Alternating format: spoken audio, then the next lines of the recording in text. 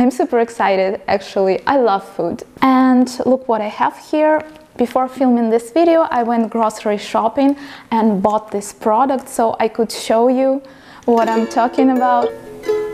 Hello beautiful people, welcome or welcome back to my channel. If you're new here, my name is Tatiana and in today's video we will be talking about traditional Russian foods and products that are diet friendly and healthy.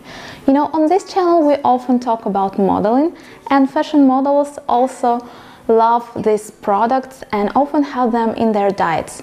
Of course, those who are from Russian-speaking countries or somehow are related to Russia and are aware of them. You know, Russian cuisine is very special and sometimes it can have some strange combinations.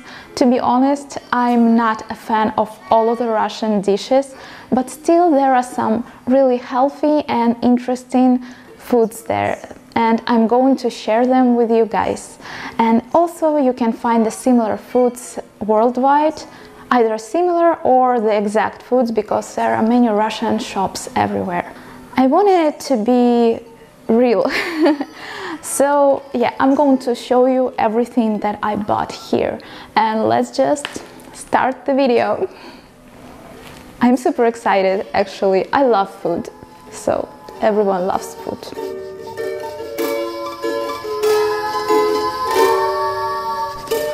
I would like to start with this little, I don't know how to call this, a jar or something. This thing called kvashene kapusta, but in English it could be translated like fermented cabbage. You may know it as sauerkraut in German, and I think worldwide it's the most popular thing. It's also a little bit similar to Korean kimchi, but it's not that spicy. There's only fermented cabbage and a little bit of salt and some people add there the carrots like I have here and also the dill and its little seeds. This cabbage is fermented by various lactic bacteria and has a sour flavor. A long time ago it helped people to survive during the winter time. You can easily make sour cabbage yourself, you just need to cut the cabbage, layer it with salt and leave it to ferment. Usually it takes one or two days depending on the amount of the cabbage. And after that you need to put it into a jar or a wooden container as far as I remember, I've seen how my mom did it. and after that you can store it in the fridge or anywhere where the temperature is lower than 15 degrees. And yeah, this product can be stored for about five or six months easily. It has only 19 calories per 100 grams, which is why everyone who are on a diet really loves it and it also has many benefits for your health. First of all, it is good for digestion because of the probiotics, as I've mentioned before, and it's also a source of vitamin C, vitamin K. You can find many types of sour cabbage in supermarkets, and I'm sure you can find it anywhere around you, at least in Russian shops. Although it's a really great product for your health, there's a side effect. If you eat too much of it, you can experience bloating, so please be careful. I personally love sour cabbage and I recommend you to try it if you haven't yet.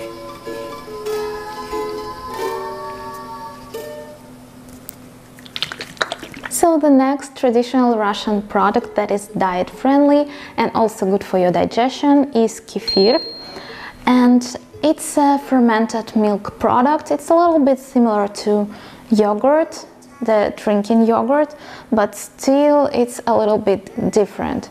It also contains probiotics because it was fermented and that's why it's really really good for your health. I personally don't like it, I'm not a fan of dairy products, but if you enjoy dairy products, this one is really nice. For example, my mom loves it. Several dietary minerals are found in kefir such as calcium, iron, magnesium and etc. Kefir can be of different fat percentage. For example, this one has 1% of fat. It only depends of the fat of the milk it was produced from. People who are on a diet really love kefir because it is also low in calories and help helps your digestion. So it has 36 calories per 100 grams. 1 gram of fats, 3 grams of protein and 3 and 8 grams of carbohydrates. Mm, it is low in fats, but there are more carbs in it. And I've talked about it in my video about dieting and how to lose the weight. So yeah, please check it out if you're curious. Models often like to have kefir for dinner and not only models, everyone when they want to have a very light dinner.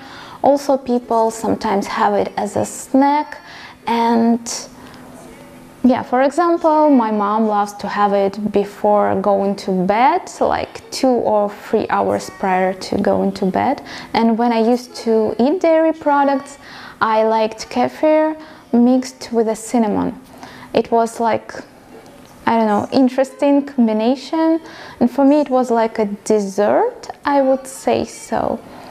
Yeah, there are many strange dishes containing kefir in Russia. If you're curious, I can film something about it.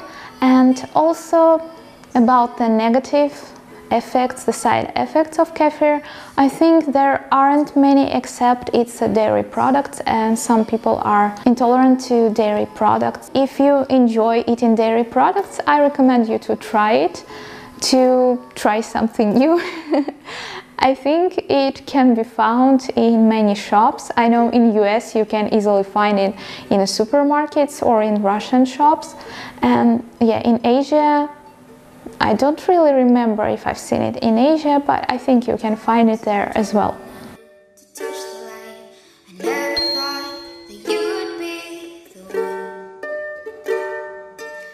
The next product that is really popular among people on a diet and also models is tvorog and in English it's called quark. It's really really similar to cottage cheese but still it's not the same. I found out that it's also a little bit similar to French fromage blanc, Indian paneer and etc. It is white and soft and usually there's no salt added.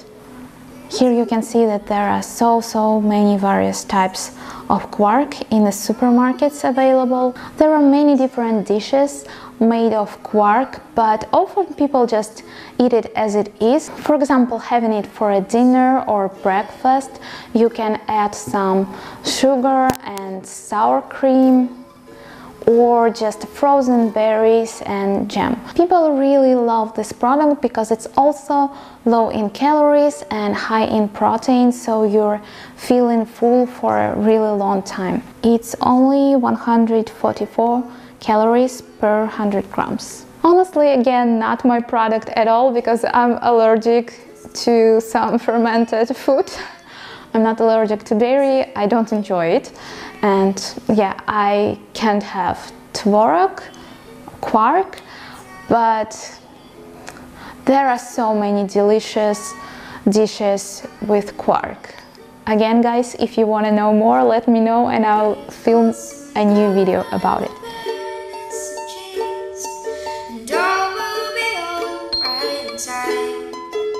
So next product that I would like to show you guys is grechka or in English it's called buckwheat. Usually the green buckwheat is more popular in Europe and US and it's available in most of the shops, although it's really expensive. But in Russia we have this brown color buckwheat and it's because prior to packaging it was fried and I don't know it was warmed up and yeah basically it was fried and it has this brown shade and also it tastes different from the green buckwheat. We usually boil it and have it as a meal along with something sour or sweet depending on your taste. It's super super filling Although it's not low in calories, it's super popular among everyone because again, you feel super full and you don't want to eat for a really long time. Fashion models bring buckwheat with them to their modeling trips. If you've seen some of my interviews with the fashion models, you've probably noticed it if you haven't check it out. And yeah, buckwheat is gluten free and it's a good source of fiber, also vitamin C and yeah if you haven't tried it please do. It's really really tasty. I love it. I love to have it with the soy sauce. It's a little bit strange to have it with the soy sauce. And when i say that i eat it like this people usually are surprised. But it's really cool. If you like sour dishes you can try it with the ketchup maybe. I also like it like this but it's not typical for Russians to eat it like I do. Anyways, you can find the buckwheat in the Russian shops and you can find the green buckwheat everywhere, but green buckwheat tastes different and it's not like a very traditional Russian food.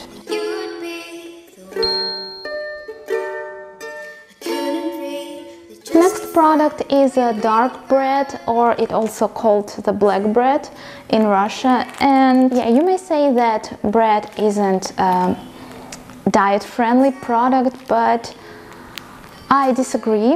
First of all because it's not a white bread.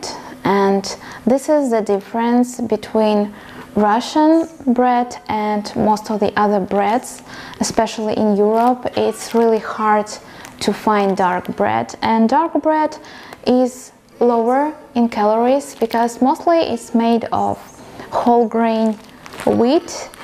And it's more diet friendly because of it. And it's really filling and has some fiber in it. And it's tasty. So I don't think you need to restrict yourself completely and not having the bread at all. For example, you can have some avocado toast for breakfast or some toast with salmon or with something sweet depending on your taste.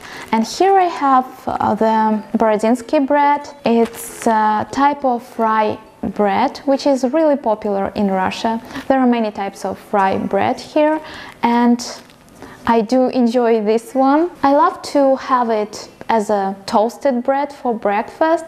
For example, I did it this morning. I literally ate two pieces of bread with a matcha latte and this was my breakfast because I was too lazy and I wanted to film this video before the sun will disappear. So yeah, I had this type of bread for breakfast and if you haven't tried dark bread, please do. I know it's hard to find it in Asia, but there are some, for example, French bakeries where you can find it, or some German bakeries. I think because in German-speaking countries in Europe, there are some types of dark bread as well and in US it was easy for me to find dark bread. So yeah, please check it out and try it. I hope you enjoyed this video. Please let me know if you've tried any of these products, any of these Russian foods and let me know if you would like to see more videos like this or maybe something food related, recipe videos and everything. Please don't forget to comment, like and subscribe and I see you next time. Love you. Bye.